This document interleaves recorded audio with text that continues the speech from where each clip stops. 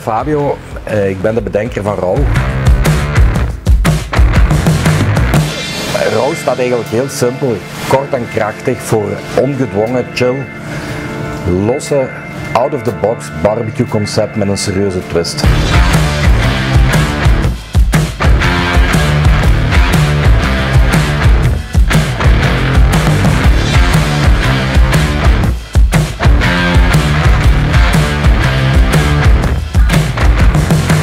Het leukste wat bij Rauw kunt doen is gewoon binnenkomen en gewoon voor de sharing dishes gaan. En dan heb je een combinatie van lekkere fried chicken uit Tennessee, spare ribs North Carolina style, picanha met chimichurri, sappig als iets, eh, onze eigen pulled pork, traag gegaard, 16 uur, botermals.